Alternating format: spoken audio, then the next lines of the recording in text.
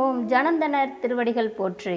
துறையூர் ஸ்ரீ அகத்தியர் சன்மார்க்க சங்கம் விழுப்புரம் கிளை சங்கத்தின் சார்பாக ஆறு பத்து இரண்டாயிரத்தி இருபத்தி மூன்று வெள்ளிக்கிழமை அன்று முண்டியம்பாக்கம் பகுதியில் உள்ள மனநலம் பாதித்த மக்களுக்கு ஞானியர்களை பூஜித்த அரங்கரில் அருப்பிரசாதமான சாதம் சாம்பார் ரசம் தயிர் உருளைக்கிழங்கு கூட்டு அப்பளம் மற்றும் பாயாசம் ஆகியவை சுமார் ஐநூற்று நான்கு நபர்களுக்கு குருநாதர் தவத்திரு ஆறுமுக அரங்கமகா தேசிக சுவாமிகள் அவர்களின் நல்லாசியுடன் சிறப்பான முறையில் அன்னதானம் வழங்கப்பட்டது.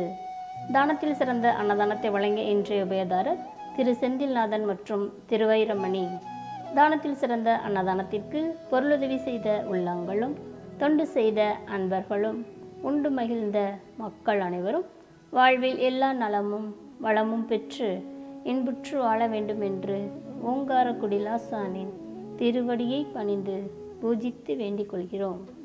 மேலும் தங்களால் இயன்ற பொருளுதவி செய்ய தொடர்புக்கு திரு வைரமணி ஒன்பது எட்டு நான்கு இரண்டு ஆறு ஏழு ஒன்பது ஐந்து ஐந்து எட்டு.